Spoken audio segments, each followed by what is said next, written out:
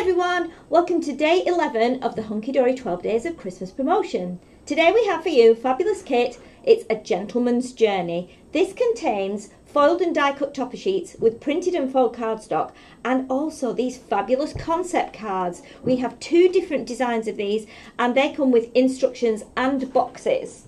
We also have a fabulous set of collector's cards for you and again they're all foiled and die cut to complete this kit, we also have for you 48 pack of inserts and our 144 page little book. This should retail at £50 and 96 pence, but today you can have 75% off this and you can have it for just £12.97.